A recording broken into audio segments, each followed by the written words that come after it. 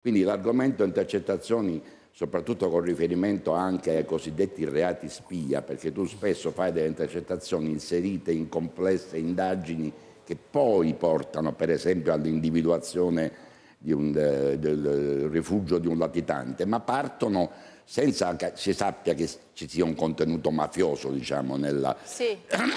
che, motivi di intercettazione. Quindi io auguro a Carlo Nord, proprio con tutto il cuore, con tutta la stima che gli porto, di riflettere molto attentamente su questo argomento, perché poi vede, lo diceva poco fa Sisto, altra persona rispettabilissima, 200 milioni l'anno, cioè, in un bilancio dello Stato italiano 200 milioni l'anno, ne possiamo risparmiare 50, diventano 150 non mi pare che sia un argomento, lo trovo, se posso dire la verità, lo trovo ridicolo. Che dice Baldino? Sono, Arrivo sì, sono, sono, assolutamente d'accordo con Ayala, eh, sono 160 milioni l'anno il costo delle intercettazioni eh, nel nostro paese. Eh, io ho sentito dire Nordio che eh, le intercettazioni in alcuni casi sarebbero costose e inutili. Sì. E, eh, a fronte di, guardi per esempio io ci, mi chiedo e qui vengo anche, eh, sono d'accordo con Ayala, eh, quali sono i reati minori per i quali le intercettazioni dovrebbero essere depotenziate o tagliate o escluse? Eh, per caso i reati dei furti di gallina o i reati bagatellari? A me sembra che invece il disegno di questo governo posto che le parole di Nordio sono agli atti, ossia i mafiosi non parlano al telefono, sia quello di depotenziare l'utilizzo dello strumento delle intercettazioni per i reati spia, che sono i reati di corruzione. E nella gran parte dei casi eh, i reati che hanno una matrice mafiosa vengono di fatto eh, scoperti attraverso l'utilizzo di intercettazioni che partono per altro, un altro tipo di reati o che sono appunto i reati spia. Quali sono i reati spia? I reati di corruzione, che questo governo vuole depotenziare potenziare. E la corruzione, se parliamo di costi, costa al nostro Paese circa 100 miliardi del nostro bilancio dello Stato. Quindi è lì che bisogna intervenire, anche perché, ce lo dicono le cronache, e chi conosce sì. e sta studiando le sì. nuove mafie o la nuova mafia, sì. nuova vecchia mafia, sa benissimo eh. che ha cambiato pelle, non è più la mafia stragista, non è più la mafia con la copporella lupara, non è più la mafia, le mafie che spara. Perché? Perché è più benevola? No, semplicemente perché non ne ha bisogno, non non ha, ha bisogno di sparare, metodi, ha cambiato, ha cambiato metodi, metodi, perché eh, con la liquidità può comprare, quindi con la corruzione può comprare qualunque cosa. Nonostante le scoppole continua a dire le stesse cose ed è facile diciamo, respingere al, al mittente Perché questa, purtroppo questa la realtà idea. non no, è cambiata, no, no, no, ma... no, volevo dire, a me non rassicura affatto questa necessità di distinguo da parte del sottosegretario Sisto, del ministro Nordio, del centrodestra a fronte della necessità appunto di depotenziare le intercettazioni per i reati minori, che loro dicono essere minori.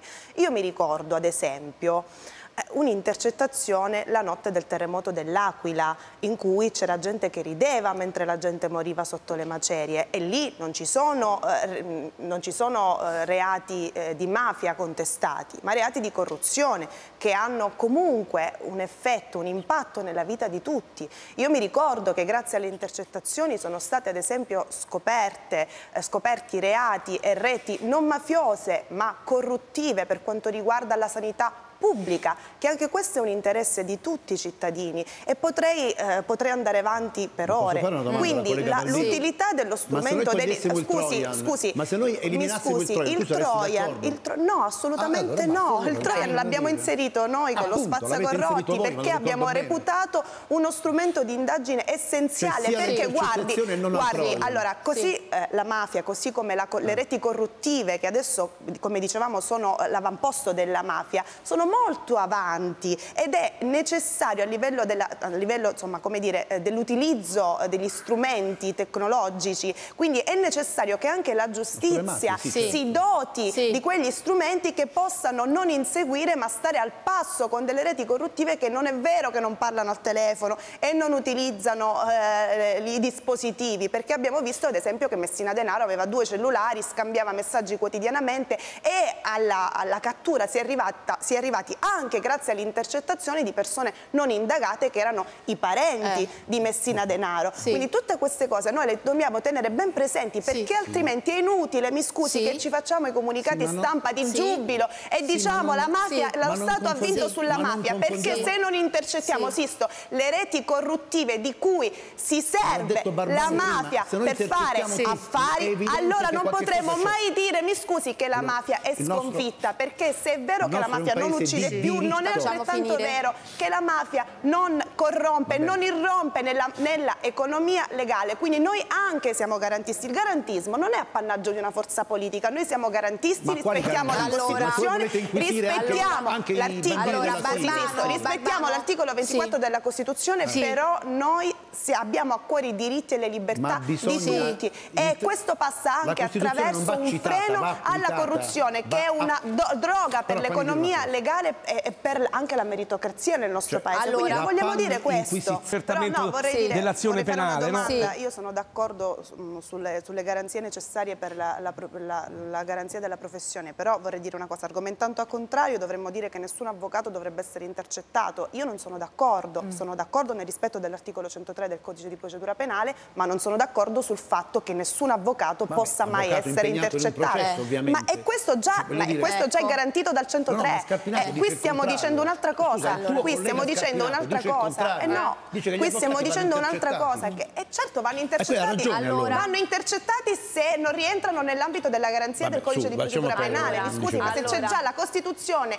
i codici che comunque garantiscono... No, ha detto Allora- un'altra cosa. Ha detto un'altra cosa Scarpinato. Anche perché ehm, la, eh, la Commissione antimafia Sì. è la commissione che Sì. è anche deputata al controllo delle liste e purtroppo per le elezioni regionali di Lazio e Lombardia è già sfuggito questo controllo delle liste perché non sarà mai eh, istituita la Commissione antimafia prima delle regionali che ci saranno tra un mese. Questo è un dato allarmante e per questo noi abbiamo sollecitato eh, i presidenti della- delle- di Camera e Senato a velocizzare l'iter di approvazione di questa proposta di legge. Ricordo che nella scorsa legislatura il governo si formò a giugno, il primi di agosto era già promulgata la legge istitutiva della Commissione antimafia, due mesi. Sì. Ora siamo leggermente in ritardo e quindi è necessario che eh, l'iter parta al più presto e proceda senza intoppi per avere una commissione pienamente il pieno dei suoi poteri per Però poter proseguire le indagini. nell'autocontrollo dei partiti a questo punto. no? Eh, eh, eh, guardi, lei lo sa che il medico di base che Eh, so. curava Matteo Massina Denaro è stato candidato nelle liste centriste, Cuffaro ha fatto sapere, insomma io non ne sapevo Lasciamo nulla, perdere. però lei capisce che, come dire, a fronte di queste notizie Ci siamo capiti. Quando non ci siamo parliamo di capiti, prevenzione. facciamolo capire. Che da un punto di vista formale essere indagati nel nostro paese, almeno finché c'è una presunzione di non colpevolezza, non significa essere colpevoli, meno male, anche se mediaticamente non è così, però ha preso immediatamente le distanze e ha detto basta, ritiro la mia candidatura. Quindi mi sembra che il, il beau geste di Peppino Valentino valga più di quello che è stato ieri agitato. Di fronte al ritiro della candidatura si è cercato, Fratelli d'Italia, non noi, ha cercato un rimedio indicando un altro candidato, non ce l'ha fatta perché i senatori avevano già eh, votato, si rivoterà per questo decimo ultimo candidato al Consiglio Superiore. Ripeto, oggi pesa più per me, ha più rilevanza il gesto, il passo indietro di Valentino a fronte di una accusa che nel nostro Paese con la presunzione di non colpevolezza non ha alcun valore. Però mi scusi, non, cre- non crede che dopo tut- tutte le indagini, le inchieste, il fango anche che eh, diciamo, la magistratura italiana ha dovuto affrontare in tutti questi anni Sì. fosse di fatto comunque un'ombra, una macchia a inserire nell'organo di autogoverno costituzionalmente garantito, presieduto dal Presidente Si della Repubblica, un soggetto che, esatto, Ma voi, un voi soggetto fate un che discorso di comunque macchia, non vedi? è Cioè, chiara- no, la no, no, differenza no, tra no, noi e guardi, voi è questa, però che per voi un'informazione di garanzia è una macchia, ma lei sta per me è distorcendo la realtà. Ma- attivata però- nei confronti di un soggetto però- presunto innocente. Sisto, mi scusi, lei Prego. sta mistificando la realtà. Il Movimento 5 Stelle ha semplicemente detto Ma voi l'avete noi, mi scusi, noi non possiamo accordare il nostro voto ad un soggetto che ci auguriamo non sia eh, indagato, imputato, Sì, esca sì. comunque pulito e innocente da ogni Mm. tipo di inchiesta che lo riguardi,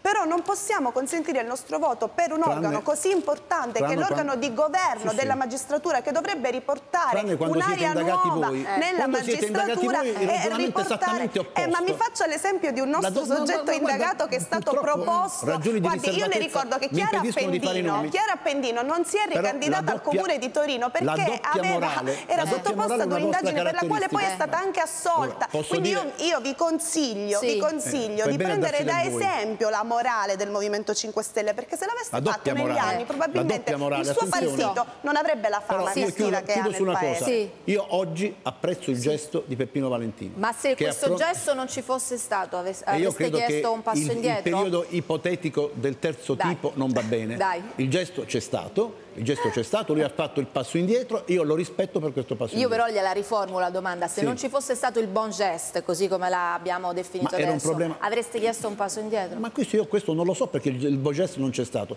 C'è stato, c'è stato. Io quello Eh. che, che dico in questo che in un paese Eh. che fa delle garanzie costituzionali il suo punto di riferimento, un'informazione di garanzia che non si chiama più comunicazione giudiziaria, e qui il Mm. dottor Ayala mi comprende bene, non è più comunicazione giudiziaria ma informazione di garanzia, vuol dire che il soggetto ha è garantito nella sua difesa da una Però è una accusa. questione di Ma da opportunità questo punto di vista la politica. questione di opportunità Eh, sì. politica Sì. non può essere scambiata con una sorta di addebito. Voi ritenete che l'informazione di garanzia è una macchia, noi riteniamo No, noi che semplicemente abbiamo detto noi un soggetto coinvolto nell'inchiesta di Indrangheta non lo possiamo votare, Tranne- noi solo ripeto, questo tranne, abbiamo detto. tranne quando capita a voi. Lì allora il discorso Allora, non è mai non mi ha successo. risposto, dire, capisco che l'ipotesi, diciamo, Ma no, è un'ipotesi impossibile. Io non è che non però- rispondo perché è impossibile. però non ci comunica, ci comunica un orientamento politico. Allora, Ma lei è garantista o non è Allora, garantista? E allora perché mi fa questa domanda? Se lei è garantista non me la dovrebbe neanche fare, visto che la sindaca è stata anche assolta, è stata assolta. lo dico una Quindi, volta Guardate per tutte. Guarda, guardate come ci guarda Iala, Io sto dicendo che nell'organo di governo della magistratura non può entrare un soggetto indagato per. Ragazzi, No. Alessandro e Io Vittoria sono Baldini. convinto di una cosa, che l'opportunità è nelle mani di chi decide se un gesto è opportuno Non è vero, è inopportuno. anche nelle scelte e negli orientamenti Io- dei no, partiti io cui penso si che l'opportunità Su appartiene questo a- no, no, Sisto no. non me lo può, non mi può no, dire di lo no. dico io. eh. Eh. L'opportunità è, di, è Sì. nella, come è posso dire, domanda. nella disponibilità del soggetto che decide Eh, un- se una cosa è opportuna o allora inopportuna. sono poi ci sono le regole. Va partiti? bene, ci sono le condotte individuali e poi ci sono, Le diciamo, e poi ci sono, e poi ci sono Se cominciamo a eh, dire che di ci sono gli orientamenti allora, dei partiti. abbiamo ragione noi quando diciamo che l'abuso d'ufficio è quel, è quel reato che molte volte costringe i sindaci al passo di lato in politica per Mm. una semplice informazione di garanzia per abuso d'ufficio con il 94% dei proscioglimenti. Se noi diciamo che l'opportunità è una regola, io dico che l'opportunità appartiene a chi deve decidere se un suo gesto è opportuno o inopportuno. Io penso che Peppino Valentino molto Mi scusi però Valentino, però posso dire Non una cosa, Valentino è no, stato, no, scusi, Valentino è stato l'unico Sì. che non, è, non si è autocandidato, ma è Sì. stato proposto da 10 deputati come prevede il regolamento. Quindi non è una questione di opportunità personale e individuale, ma è una scelta Allora- politica di un partito che ha deciso Allora, sentiremo cosa, sentiremo cosa ci dirà il capogruppo di Fratelli d'Italia, tanto tu rimani, vero? Sì, però una cosa rispetto a Vai. questo punto. Eh no, no, ma sta entrando eh, Foti, glielo chiediamo ah, poi direttamente, vai. No, dimmi, dimmi. No, voglio dire, eh, è, è vero che i partiti devono, avere, devono valutare l'opportunità in un contesto normale. In questo contesto, purtroppo, in cui la- la- l'avviso di garanzia è una clava Sì, sull'autonomia della Sì. politica, le cose un po' cambiano. Del resto, il, il Movimento 5 Stelle non ha chiesto a Virginia Raggi Di nuovo, di Virginia Raggi è stata assolta. quando è stata Dopo. indagata. È stata assolta. Eh, ma dopo è stata Allora, Ma è assolta. stata assolta, ma noi non l'avremmo candidata se fosse stata Sì, ma indagata. poi perché è non stata indagata di nel corso del mandato, perché si pazienza, doveva se dimettere? vale ma siamo principio. garantisti o non siamo garantisti? allora decidiamoci una volta per avevo perché se voi. siete garantisti per i vostri e dovrebbe per i nostri, allora dite Scusi, perché quello è l'organo di autogoverno della Ah, magistratura che e deve decidere sindaco, il dell'indipendenza della è magistratura e noi non l'avremmo candidata se fosse stata indagata come sa dibattito a questo benissimo. punto sì che si è è infiammato grazie al Vice corruzione. Ministro della Giustizia Non ha- la stessa dignità. Non capisco il vostro garantista grazie. corrente al termine. Grazie a Bandino voi. come sempre.